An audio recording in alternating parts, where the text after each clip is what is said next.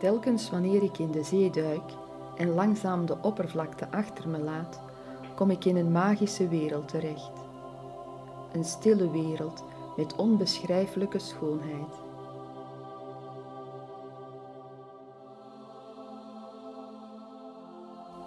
In mijn verbeelding kwamen de goden in hun prachtige ruimteschepen miljoenen jaar geleden op onze planeet terecht. Ze daalden af in de levenloze zeeën van onze aarde. Aan boord hadden ze de creatiefste goden meegebracht.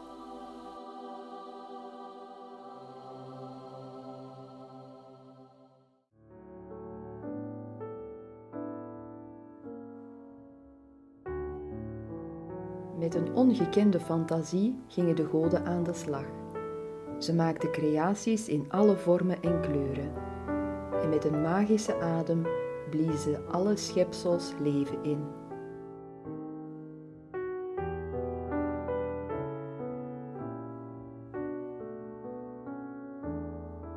Hun creativiteit was grenzeloos en zo uitgebreid dat tot op de dag van heden niemand weet hoeveel soorten ze geschapen hebben.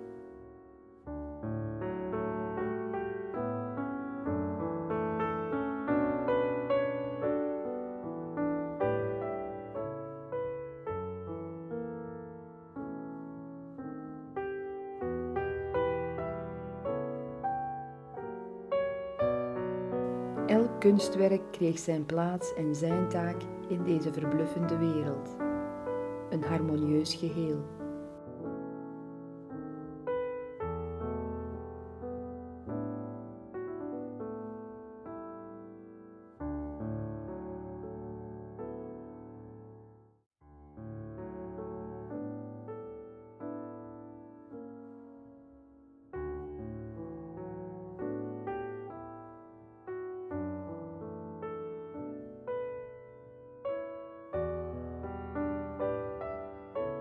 Elke duik opnieuw, wanneer ik het Museum van de Goden der Natuur bezoek, weet het mij opnieuw te ontroeren.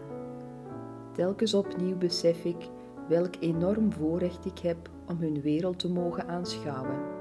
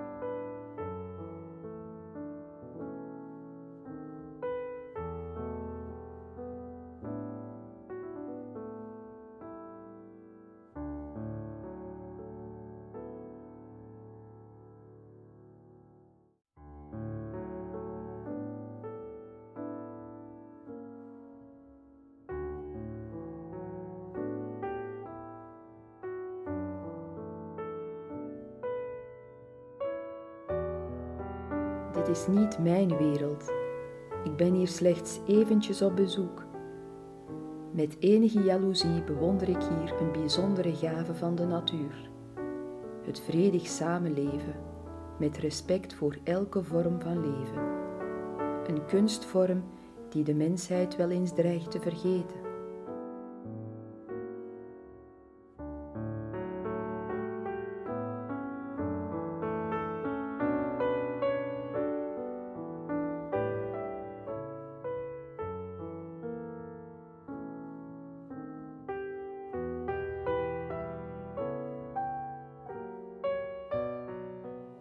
Zijn al lang terug vertrokken, maar ze hebben in hun nalatenschap wel een boodschap achtergelaten. The fingerprints of the gods. Misschien moeten we de aarde eens bekijken met iets meer respect voor de natuur en de medemens. Voor onszelf en de generaties na ons.